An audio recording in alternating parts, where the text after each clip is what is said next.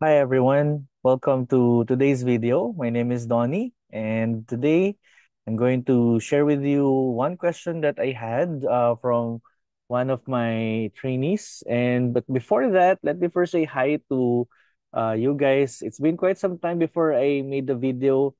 The first uh, few months of the year are usually busy for me. And now I'm back and I'm here to answer some questions that I gathered from the classes that I've handled in the first quarter of uh, 2025.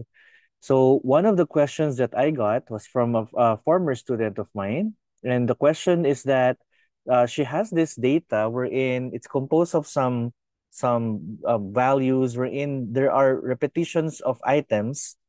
Then let's say here we have items and then there are several branches or sites. And the idea is that she wants to know how many unique values are there for the items, but only if it follows a value from a certain branch. So meaning I will not literally just count unique values, but it has to come from a certain branch only. So to generalize the problem, it's more of like she wants to count the unique values, but only if the uh, row satisfies the condition that, let's say, in this one, it's from Sydney. So there are functions in Excel that are supposed to help us with this one. Uh, we will discuss each function so that you would know sort of like the breakdown of how uh, the function works. So, of course, the table that we have here has order ID, item names that we want to count, the branches, which will set the condition, and some other random column so just to differentiate, I will mark that that is uh, those are the headers, you know, just for aesthetic purposes. Now, the first function that will help us in this scenario is the um, unique function. So the unique function's job is to list down the unique values of a certain column or range of cells. So we'll start with unique and then open parentheses. And then we simply have to highlight or include in the unique function the range of cells that we want to extract unique values from. So let's say for this one, I'm going to count or I'm going to extract the unique list of values from B2 and then downwards. So I pressed Control Shift down to highlight all my data from that column starting from B2 I have to ignore B1 because if I do that, then it would count that first cell. So we need to start at B2 and then drag downwards and then close. So these are all, this is all that is required of the unique function. So when we enter this, you will end up with a spilling formula. And this spilling formula would be a list of all unique values k from that range of cells. So you see how it is shorter than the column that we just uh, highlighted because this is now just the unique values.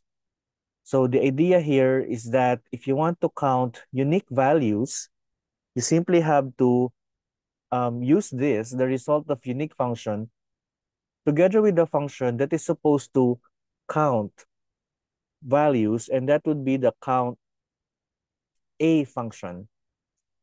So I have to use count A because these are words or texts that I am counting.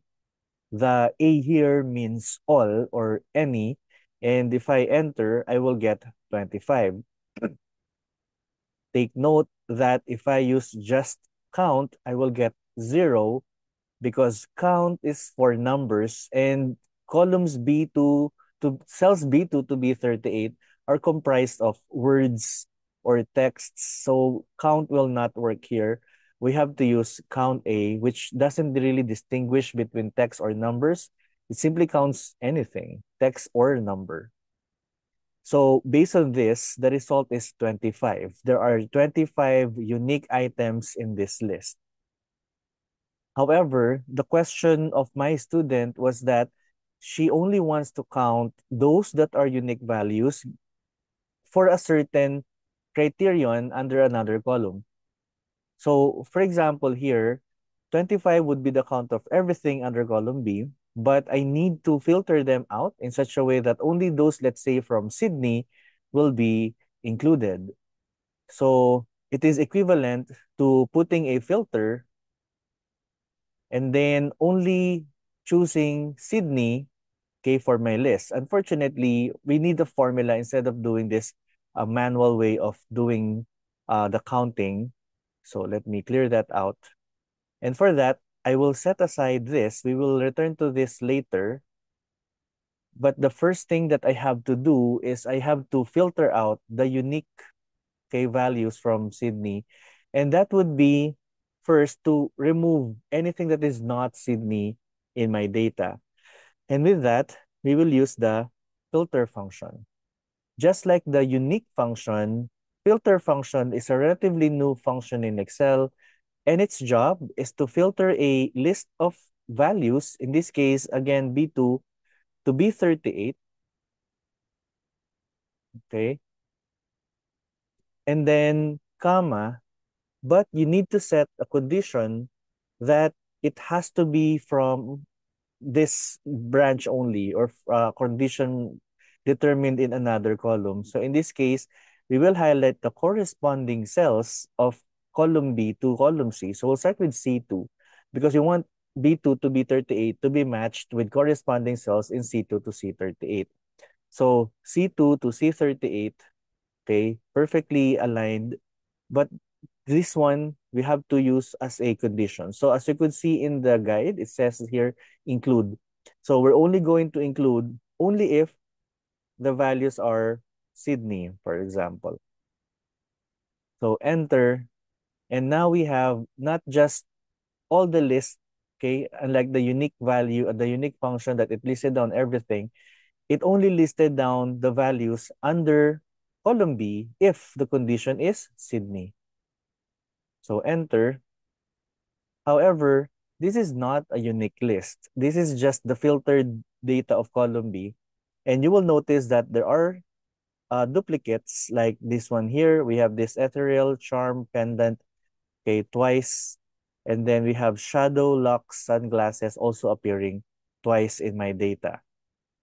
So I have to remove them.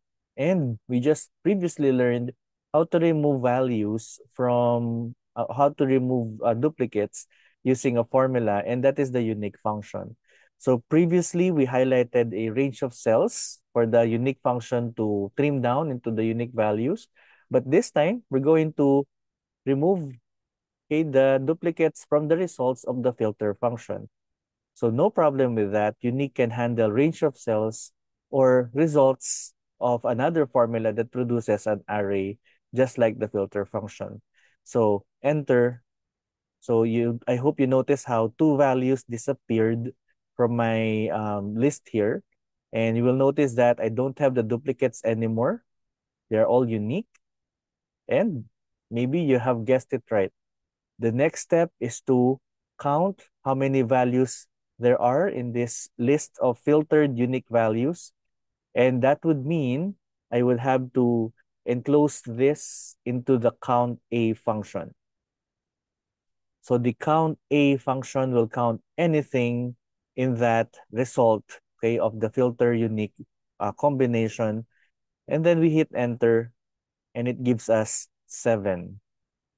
So based on this, there are seven unique values from uh, Sydney okay, under column B.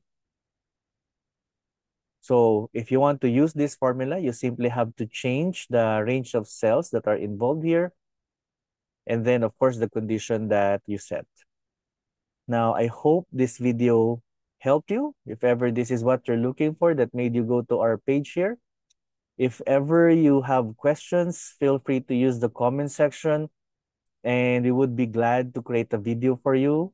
Uh, as long as we have time, we, we really do our best to find time and if ever this video helped you and you like this video, we would appreciate a like and subscribe in the channel. It really helps us content creators create videos okay, for you guys. But for now, this is it. I hope this helped you and I'll see you in the next video.